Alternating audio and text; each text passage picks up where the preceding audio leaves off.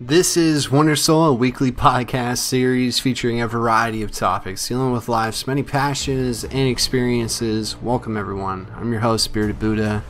This is another episode of Review 4. Uh, for this episode, I just got back from seeing Aquaman, so I'm just going to give you guys my thoughts on how the movie was and is DC finally making a turn for the better and um, just my overall impression with the film um, as a whole. Uh, I am a comic book fan, so uh, I kind of nitpick with different things when it comes to the stories and the characters and how they translate on film.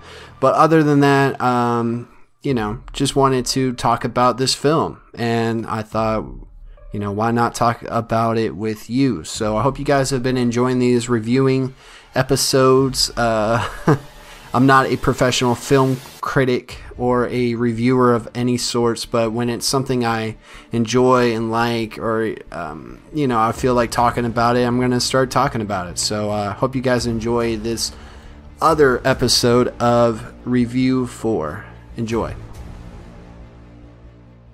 To tell you, I don't want to be king. Once he is named Ocean Master, it'll be too late. The power at his disposal will be unlike anything you have ever seen.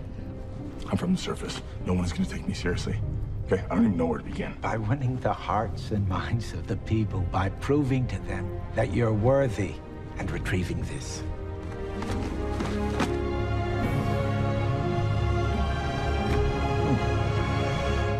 I already got one of those. Not like this one, you don't. Wouldn't it be funny if Aquaman is the best movie to come from DC?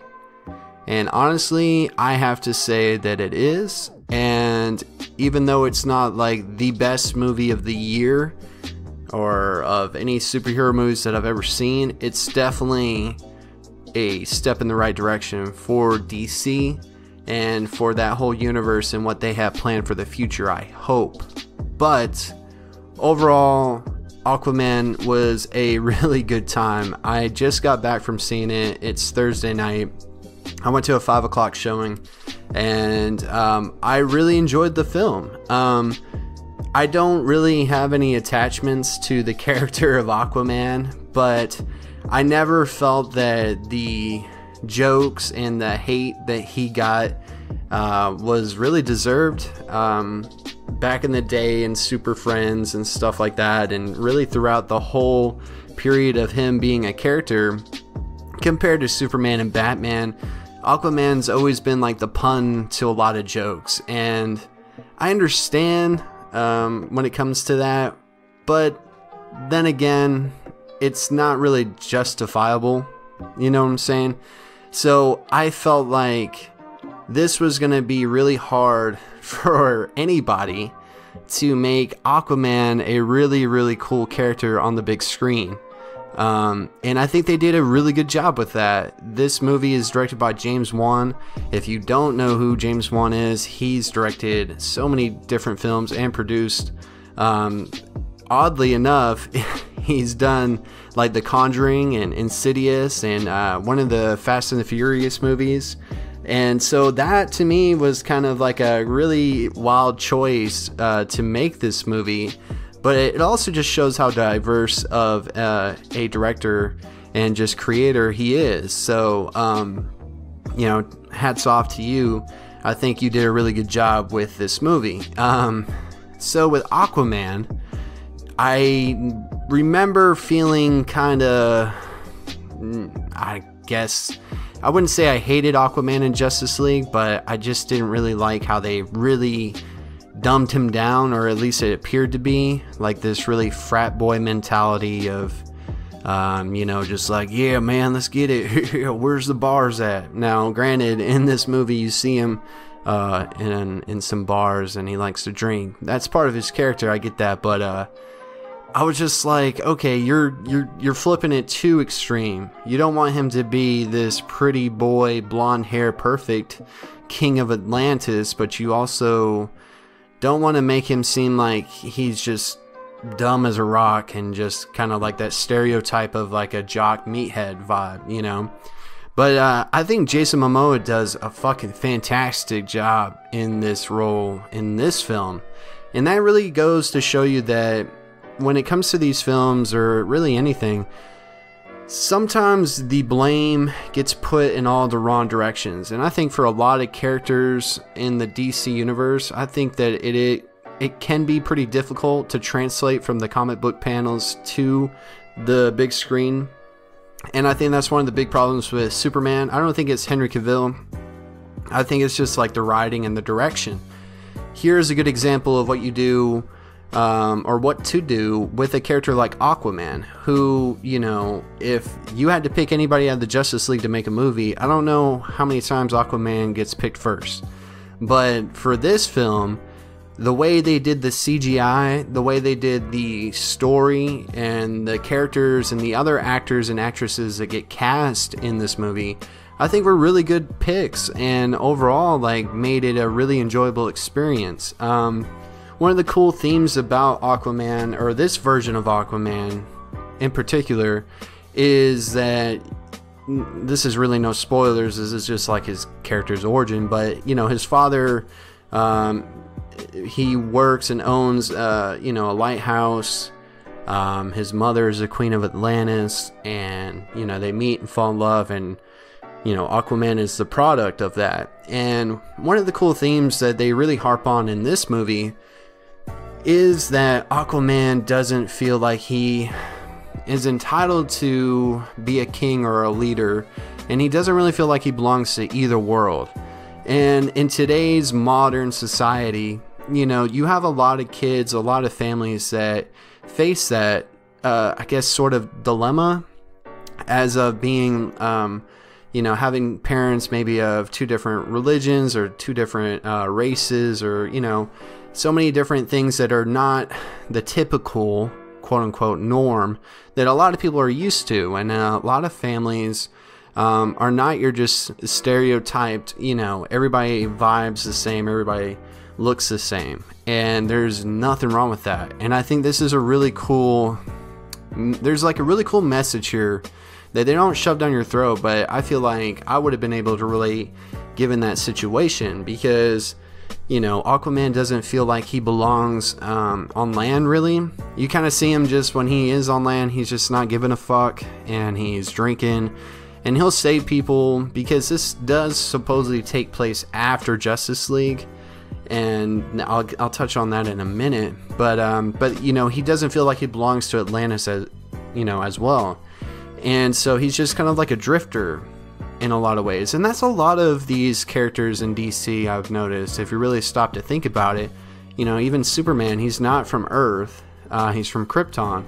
Um, and, and though these characters look like everyday people, they have abilities or something that separates them and makes them different. I mean, even Batman, um, even though he's a billionaire and rich and has everything that most people would, you know, wish and dream of having, he still feels out of place. And um, even Wonder Woman, all these characters, they they um, find it very difficult to fit in anywhere because they don't really know where they truly belong, but they still don't hold like I guess a grudge or a hate or uh, exclude uh, you know any member of society uh, or any groups. Um, but it was very interesting to see them carry that theme, and I think that's a really cool theme that I hope speaks to a lot of people that you know can pick up to uh, you know on that.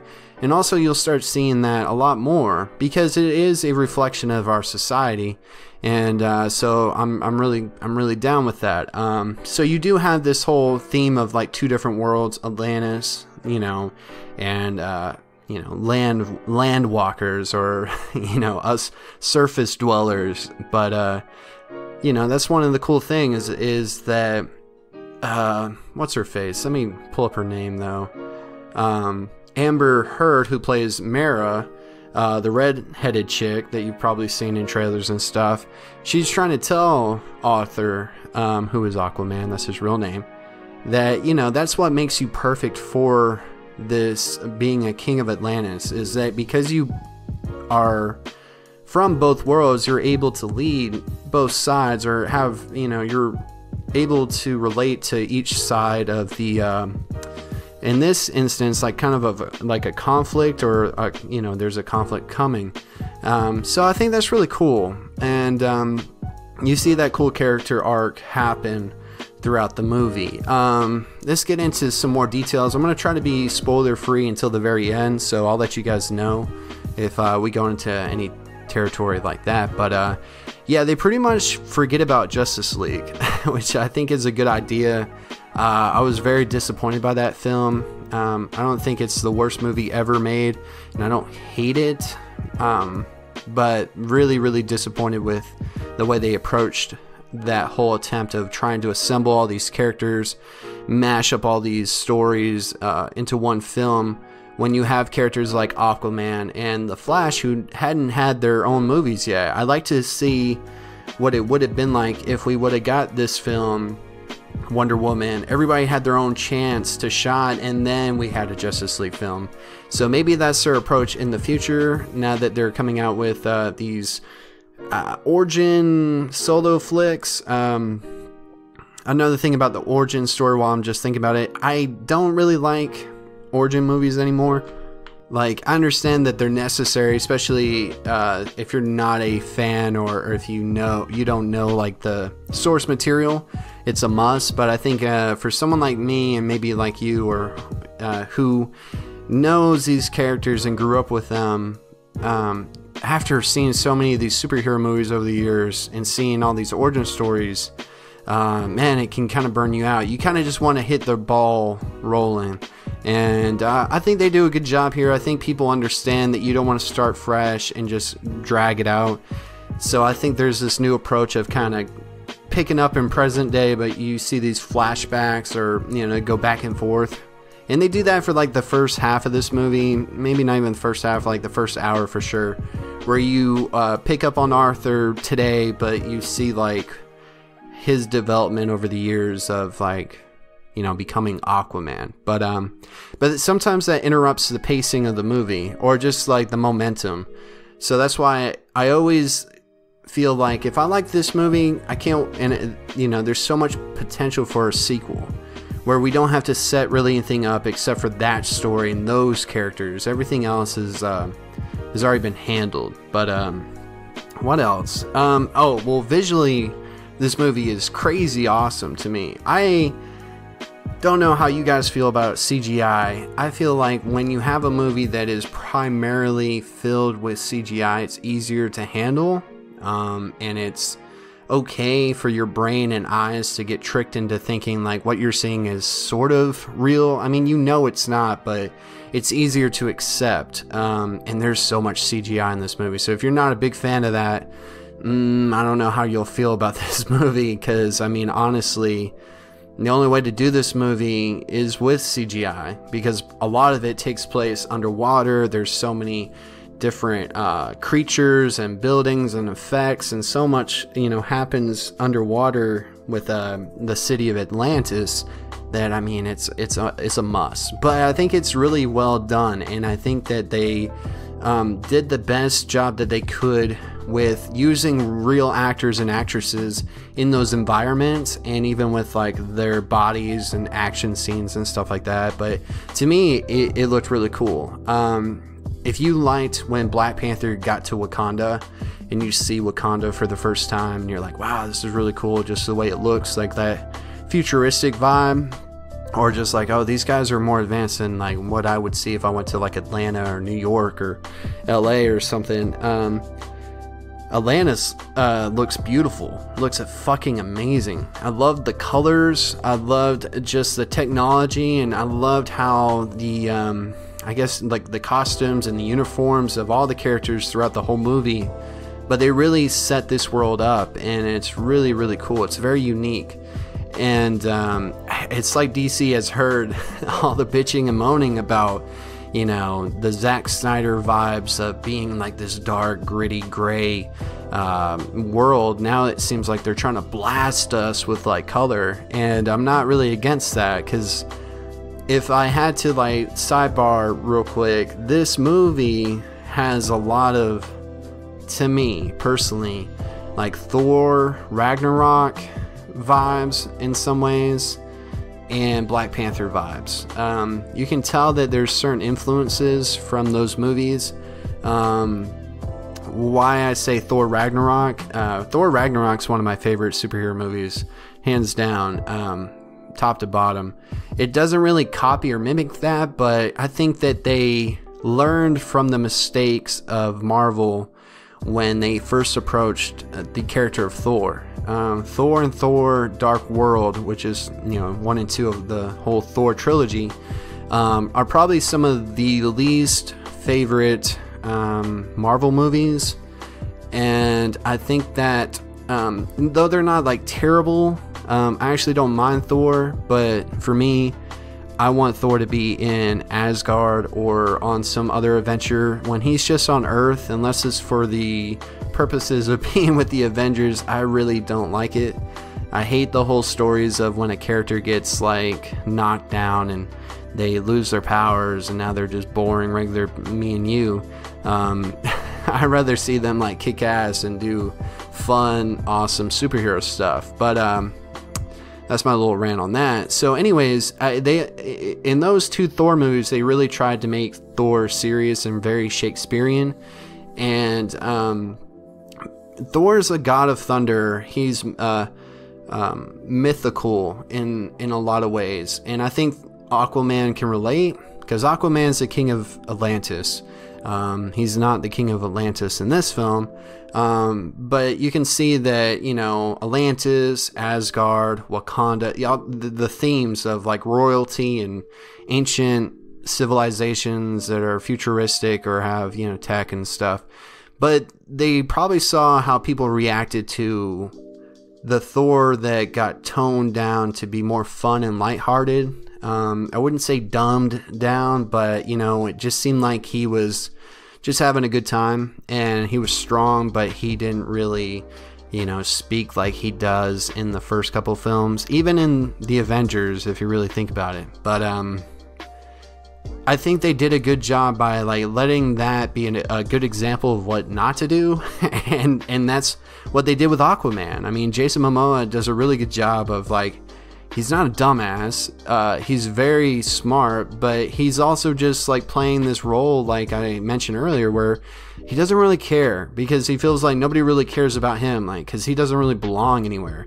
So he's just trying to drink and have a good time, and he'll save people and um, do what's right. But you know, he's not trying to be like very heroic, and he's not trying to be like Superman. Um, so when you have the Black Panther aspects, you have this whole thing with royalty and challenging the thrones and stuff like that. I think they pulled a lot from that. And I mean, when they show up in Atlantis, like you get that same vibe of like in the beginning of Black Panther when they show up to Wakanda. But you know, hey, I mean, it's not like they're copying anything. It just feels like okay, they they they saw what worked and they drew some kind of influences. That's my opinion. Maybe they did, maybe they didn't. But regardless, um, Aquaman, this film is very fun and lighthearted for the most part. There are some serious tones, you know, there's some things that happen. Nothing too crazy, but um, it's just fun. From start to finish, it's just a good time. It's really fun to see in the theater, especially with all the CGI and the colors and the action to see on the big screen. So if you do want to see this or have any interest, I do suggest you go check it out in the theaters um, or wait until it's on Blu-ray and check it out like on a nice TV. But um, it's fun, and that's a good tone switch from what we've been getting. I feel like with Justice League, what really fucked that movie up too was that they were trying to make adjustments halfway during the race you know, and I feel like that either pays off or it wrecks it. And for that movie, I think it wrecked it. You see a lot of characters acting out of character, like when Batman starts joking around and just things just felt like they were trying to make adjustments a little too late. And maybe some of that goes to uh, Zack Snyder taking a step back and then uh, uh, Joss Whedon coming through. And um, who knows? I'm I'm kind of forgetting about Justice League. I own it, but it's only just so I can remind myself that they tried to make this movie. Um, but like the Aquaman you see in that movie and this one, they're not completely different characters, but this one's obviously the better version. And maybe that's what they needed to do. Maybe if you watch Aquaman then went and saw what they tried to do with Justice League, it would make more sense. But, you know, who knows? But overall, it's a very fun and light-hearted film. And that's another thing that I think they saw from Thor Ragnarok. It's just like people like color and people like just a good fucking time. There's there's some jokes in here. There's some humor. Um, you know, and Aquaman and uh, the character, you know, he's kind of just like your your everyday kind of dude. He just doesn't seem like he takes things super serious. Like his whole motivations throughout the film really come off as um, you know I just I'm doing what I have to do. I really if you left it up to me and I didn't have to do what I'm about to do, um, you wouldn't see me here. You know, so you get that attitude from him, but he's not like bitching and whining about it. So it, it, it, there's like a good balance there. Um, but one of the things that if I had to pick something I didn't like, but I also understand, I think is that this movie from start to finish is fast paced. And this movie, I think, clocks in at like over two hours on the runtime. So that's like two and a half hours of just boom, just going from place to place. Here's this character, this is what's going on. Cool. Now we're going to go back and show uh, young Aquaman. Boom. Now we're back. Okay, we're over here. All the CGI, all the colors, all the everything just being shoved at your face. There's certain scenes where it's really hard to tell what the hell is going on because of just being underwater maybe certain scenes. There's like kind of like trench uh, settings and so many things like with water. Um, but it's it's understandable why they would want to keep the pace up i think. I really want to think that they're um, they're hoping that if anything no matter what you say about this film you can't say it was boring um, they didn't want Aquaman to come off as boring. They wanted you to be sitting there having a good time, having something really cool to look at, and really liking the character of Aquaman. He's a badass. He's having fun. He's just kicking it, and um, but he's not too serious and it's not boring. It's like kind of the exact thing I was mentioning when it comes to like Justice League and what Zack Snyder had done up to that point with um, with the DC universe it's like they really want to like, hey, look, we we heard y'all. We're we're we're we're taking this direction now. So in a lot of ways, it's like, okay, well, that's good. Uh, I hope you guys keep this up, but just because you're heading in that direction doesn't mean that you perfected it yet. So I hope that you take whatever criticism or whatever feedback you get from this movie and just keep that in mind moving forward and um, hopefully just kind of slow it down. But I feel like they had to like really slam it in with a bunch of stuff. And that's another thing about like the back and forth origin story at the beginning half of this film. It's like just a lot of explaining because you just get thrown into this whole world. Um, they have to tell you everything. And that's one of the things about origin films that I don't really care about. It's just like, all right, this is Atlantis. How did Atlantis get here? Why is Aquaman here? How did this happen? You know, and it's a, just a lot of backstory. And so that can, you know, make it a little boring for those parts, especially if you know the source material already. So I'm speaking from that perspective. But, um, I mean, it's understandable, you know and that's why with sequels i feel like you can either get better or you get worse and by better i mean like you already you've set up everything now we can just have a good time and have a good story and um, when it comes to the cast, though, I think besides Jason Momoa, you had Amber Heard, Willem Dafoe, Patrick Wilson, Nicole Kidman's in this, and many others. I think they all were really good. I think they were really well casted. Um, you know, a lot of people think of Aquaman as like the blonde hair, you know, pretty boy, and I think this like more rugged, you know, bigger buff look for Aquaman really is another way of DC going like, look, Aquaman's not lame, is he? He's pretty cool. He's a badass, and I think that's like um, a good um, decision on their part. And um, you know, as far as everybody else who was in this movie, uh, Black Manta, man, fucking Black Manta was dope. Like his his music and the music throughout the film is really good, I think. And I like that they really tried to develop a theme for Aquaman and for these characters. And man, Black Manta was just a really cool character. A really, he's not like the main villain, but you know, you can see a lot of potential in his character in the future and stuff. Um, but just like the aesthetic of his costume. Like if you don't know who Black Manta is, like Google search that, look at that character, and then when you go to the movie, you'll be impressed with like, wow, that's kind of that could be a weird thing to translate, or you could make it look so different. But they did a really good job with everything here. It, one of the things I have to applaud and respect about James Wan or anybody who was working on this film is that you know they pay a lot of respect and they're very loyal to the comic book uh, visions of these characters. You know, when you see Aquaman, and this is no spoiler, it's in the trailer, but when you see him in that orange and green, it looks pretty dope. I mean, a lot of people were probably worried about that. He didn't have that look in Justice League. So to get that, it's very, very fucking cool. And that it works is even cooler. So when it came to Black Manta, when it came to Patrick Wilson's character, uh, King Orm, who is like the um, what was it, the Ocean Master, I think.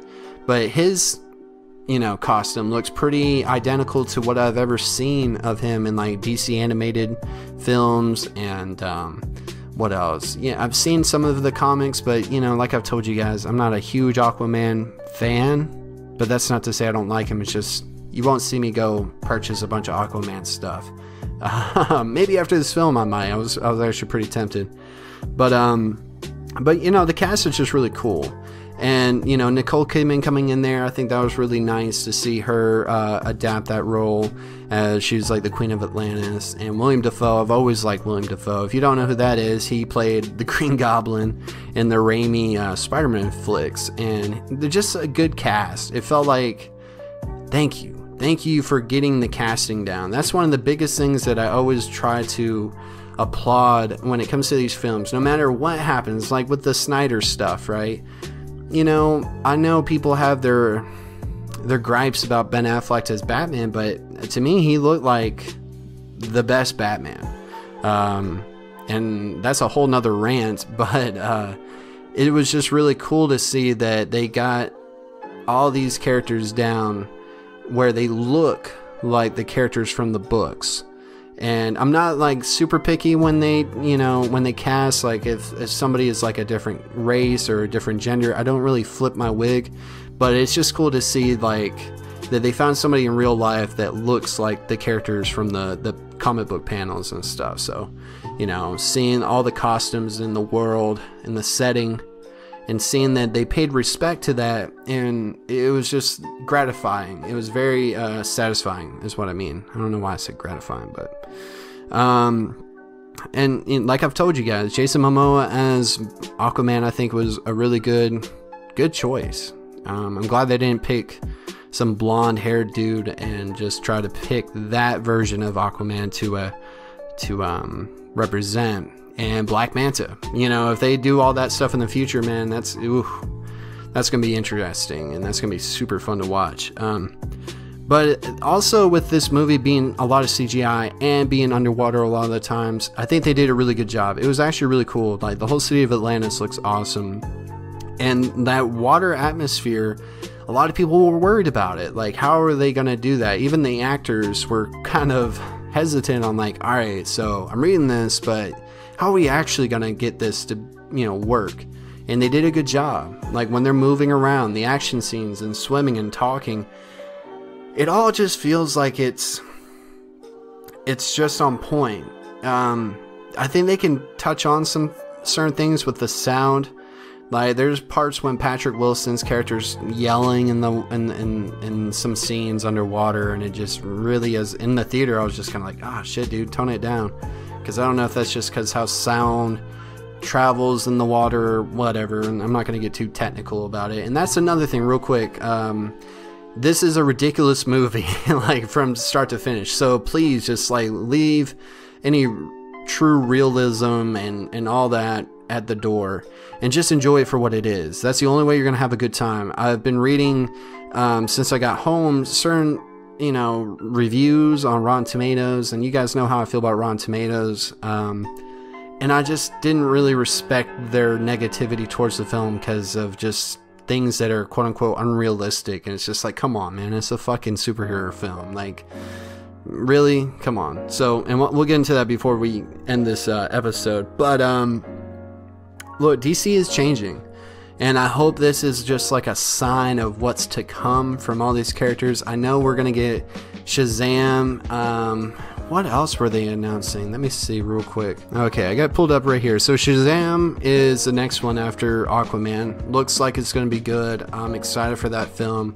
Um, and then obviously we got that new Joker standalone film that I've heard is not even going to be a part of this whole universe. But from what I've seen with uh, Joaquin Phoenix as the Joker, it looks pretty cool.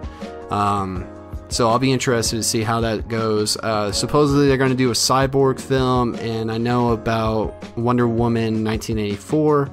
Um, supposedly Green Lantern's Corps, uh, Suicide Squad 2, Birds of Prey. I've been seeing casting for that, so that should be interesting.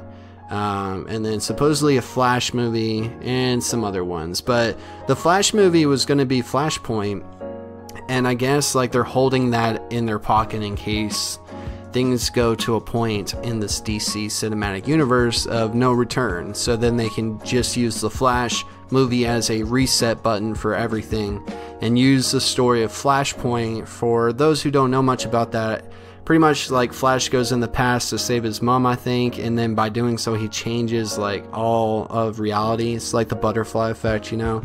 Um, by doing that one little thing, uh, it creates like waves of change, and that that would be a way for them to maybe change things. Um, maybe with recasting, because we don't know what's going on with Batman and Superman right now. Um, but you know, if they can do this and let other directors, other creators come in and, and have their vision for these uh, characters from the comic books be told other than Zack Snyder. And I really don't have a lot against Zack Snyder. I just feel like they um, they were just putting too much too much on his plate. Because um, I really don't hate Man of Steel, and I think that if he had just made Man, Man of Steel and left everything else alone, we would have been fine. But then Batman versus Superman happened, and they were just trying to play catch up and it was very obvious. And, and, and the history books will tell like when they because they're going to talk about this era of like um, comic book movies and stuff and hopefully this is the turning point. And that's why i think it's funny that aquaman the character that a lot of people have been busting on for years uh, is the one movie that dc and warner brothers and them probably were not thinking about making right up uh, right up front like the Trinity, which is is uh, Superman, Wonder Woman, and Batman. But I think this is a good opportunity for them to try these new characters. We've already had Batman movies. We've already had Superman movies. Um, until you can find someone else to do Superman correctly, stop. Put the pause button maybe give us a break with Batman. Uh, I've been hearing a lot of good things about Titans, and I can't wait to check that out. It's coming on Netflix like in January, so I'm excited for that because I, I, just tried the free trial on DC, and I'm waiting until more stuff comes out on that streaming service before I truly commit. But um, you know, I, I feel like they are heading in a better direction. So DC is changing, so it's not like what it used to be which was not too long ago. I mean, I know a lot of people like Wonder Woman. I liked it too, um, but I don't have attachment to the character, and I really don't have any attachment to Aquaman. But it was just kind of like a really cool like uh, redemption story for the character and for DC because I want all of these characters to do well. I'm a fan of both Marvel and DC. I don't feel like you have to pick one or the other. And if you do like the Marvel movies, there's no fucking reason for you to be putting um, a lot of hate and unnecessary uh, criticism towards DC. I mean, obviously, as a fan of these characters and these worlds, growing up reading comic books, I want all of them to do well. And there's no reason why we can't live in a reality where both aren't. But um, I think maybe DC just made some mistakes and tried to, you know, catch up with uh, Marvel and creating this whole cinematic universe, and maybe they needed to uh, go at their own pace and it would have paid off. And I think now they still have a chance to do that. And uh, who knows what the Marvel movies are going to be like after Endgames, uh, the second part of the Avengers Infinity War, uh, you know, saga that they got going on. So maybe this is DC's opportunity if they keep putting stuff out like Aquaman. Uh, where it's fun and, and it doesn't always have to be lighthearted and fun. I think that's where things got twisted maybe DC looked at Marvel and was like, oh, fuck, they've already got this whole light-hearted Disney family vibe, goofy, fun, um, you know, atmosphere. We have to be the dark and gritty and serious, you know, version. Or the market of superhero movies will become too overcluttered and there would be too much of the same shit. So maybe that's a decision they didn't really get to make. But being the second one in class, they they didn't get to pick a seat, you know. So we'll see. Um, but Aquaman is cool. Like the the whole movie, and I'm speaking mostly about the character. He's just a cool, fun, badass uh, guy that you can see yourself uh, having a few drinks with, hanging out, and, and and you know like inviting him to a, like a pool party or something. But uh, but he's not that pretty boy blonde stuff. I'm glad they didn't go in that direction. But um one of the things I just want to touch on real quick is, you know, I saw the trailers. I'm trying to restrict myself from watching all these clips and trailers before I see a movie. It really changes your experience.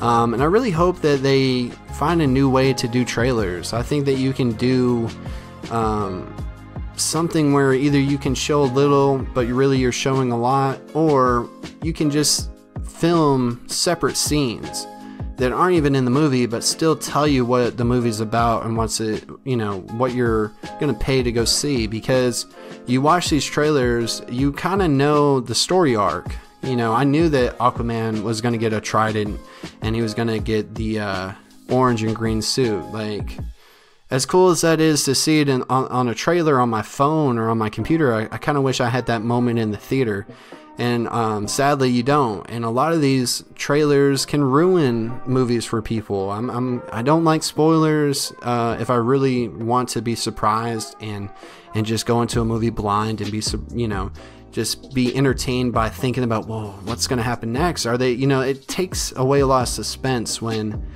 i can start to watch a movie or a show and i know from the trailers well, we haven't seen this character here yet. That's going to happen. Oh, they're going to be fine, or something like that. So, you know, Hollywood, if you're listening, which you're probably not, please figure out something. Do do it. Be creative. Just shoot some extra scenes that basically give you the general vibe of the movie, and and and just put that out as trailers. And maybe once the movie's out, you can start showing clips. As you know, it's simple. Um, but the action was fucking awesome. The scene in Italy uh, with Aquaman and Black Manta and some other people. Even from the get go, Nicole Kidman has like an awesome scene where the action and the camera work is, ah, oh, it's just really fun. Like the kinetic energy you feel from every punch and swing and everything that happens to these characters and the flips was really fun to see and uh, uh, just it's enjoyable and I don't care you know if some of it's CGI especially when they're fighting underwater it's still cool like I think they did a really good job they could have just easily just showed you two characters fighting and it could have been very boring but i think it was really cool on james wan's part the director and everybody involved uh, you know to really have fun with that. And so um, if anything the action was really good. So if you are a fan of good action or action films you're, you're going to enjoy this. Um, so that's really going to be it. Um, it's got a 68% on Rotten Tomatoes right now, and I don't feel like that's justified, especially after reading some of these critics' reviews. Um, supposedly, the consensus is that Aquaman swims with its entertainingly uh, blah, blah, blah, uh, offering up a CGI superhero spectacle that delivers energetic action with an emphasis on good old fashioned fun. And that's it. So when I scroll down here and I see people saying none of it makes a ripple of sense, even when blown up to IMAX 3D, said Toronto Star top critic Peter Howell. Like, come on, dude. What? Um, let's see. Washington Post, Michael O'Sullivan said, At times, the plot feels like the 12 labors of Hercules with a couple of extra labors thrown in just for the heck of it.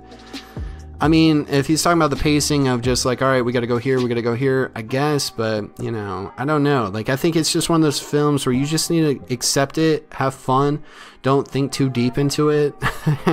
and the only reason why I am is because I'm a fan of these heroes, these comic book movies, and for me, it's it's a different experience than for someone who is maybe a critic of just all movies or you know doesn't really know much about these characters but um let's see peter uh, travers from the rolling stone said not, e- not even on up for anything jason momoa can save aquaman from being a joke still the fun is a relief after all the recent dceu superhero gloom any fish epic that finds time to show us an octopus. Okay, okay. Well, so that's just like I don't know. I just don't understand if that's what is really making this movie a a, a, a you know for you a splat or whatever they do on here. I think it's just a fun movie. Have a good time. Go see it. Go support it. Um, it's not 68% on Rotten Tomatoes. And I just want to take this moment because I know I mentioned uh, Rotten Tomatoes on the Spider Spider-Man Into the Spider-Verse review, and I need to probably take a step back, but I'd like to address it because I don't really judge my opinion on Rotten Tomatoes, but I want people to understand that when you see 68%, that's not like when you were in school and you got a 68 of 100, so it's a D. No, that just means that 68% of people who reviewed it they thought it was above 60%. So there could be 68% of people who said it's 100 and it's like a masterpiece, a 10 out of 10. But then you have that other percentage of people who thought the opposite. So then it, it, it kind of averages out. So please, that's why I just encourage you that no matter what I think or say about this movie, check it out for yourself. Make the make that opinion of your own. Um, don't just listen to what these critics, quote unquote, say on Rotten Tomatoes or wherever. You know, uh, just have judgment for yourself. Uh, if your friends or anybody else, maybe there's somebody you vibe really well with, like a YouTuber, and they say they liked it, then and and you know maybe you relate to their opinion in the past. I mean, I still feel like we should encourage each other to check out stuff on our own and not just leave it up to other people to decide what we might think is good or bad. You, you never know what you could be missing out on. And, um, you know, just use common sense. But look, it's fun. If you're having family or, you know, people around for the holidays, go check this out. Um, and you'll have a good time, I think. My only two gripes, personally, were just the pacing was really fast. Um, but you can understand to a certain degree. And like I said, I'm not a huge fan of the back and forth with the origins, but um, hey, those are like little nitpicks in my opinion. Everything else was great. Uh, the themes, uh, the visual spectacle of it, the fun lightness, um, the cast, the direction, everything, the action. So go check it out for yourself and let me know what you guys thought of the movie. And we can probably geek out, nerd out on a deeper level if you like. Uh, but I just like to kind of keep these as spoiler free as possible, unless it's something that I feel like truly deserves a spoiler talk vibe. Uh, but other than that, it's going to be it for me. I hope you guys are enjoying these uh, reviews. I'm not a movie critic or a professional reviewer or whatever, so I'm only going to really talk about the things that I enjoy and that I feel like I want to talk about. And lately, that's been Spider Man Into the Spider Verse and Aquaman. So uh, expect more things in the future. But yeah, I hope you guys enjoyed this and go check out Aquaman if you liked what you heard. And I will talk to you guys later.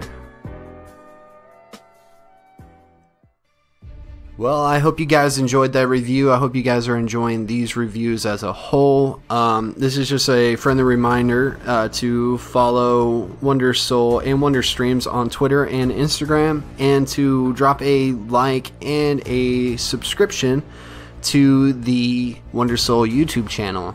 Um, please share these around with friends and family that you think would be interested with any of the topics featured in the podcast, as well as these reviews and that just helps us grow and really do appreciate your time and your attention and just yeah, your support overall for Wonder Soul as um, a podcast. And so I just wanted to take this opportunity to say thank you once again. And uh, do you guys want to see more reviews um, in general, just of things from the past or current or up? You know, just let me know uh, the vibe that you guys are looking forward to when it comes to this kind of stuff because I can really geek out, nerd out about a lot of things, but it's just about finding the um, the reason to, I guess. and um, so, yeah, so enjoy, uh, I enjoy these. Uh, I enjoy going to see these movies and then talking about it, especially with y'all. And I just want to see what you guys thought of the movie and what you guys thought of. The episode. So, you know, if you're listening to this on YouTube, just drop a comment and tell me what you guys thought of the movie and this episode. And don't forget to check us out on Twitch at Wonder Streams, where we stream games. Uh, we, we do live podcast shows with me and my friends and other guests. So go ahead and check us out on Twitch as well. Um, but other than that, I hope you guys have a good day, good night, whenever you're listening to this. And uh, look forward to doing another review for whatever's coming out next. I'm not sure what that's going to be, but either way, thank you guys for your time. Thank you for your support. Hope you guys are doing well. Bye.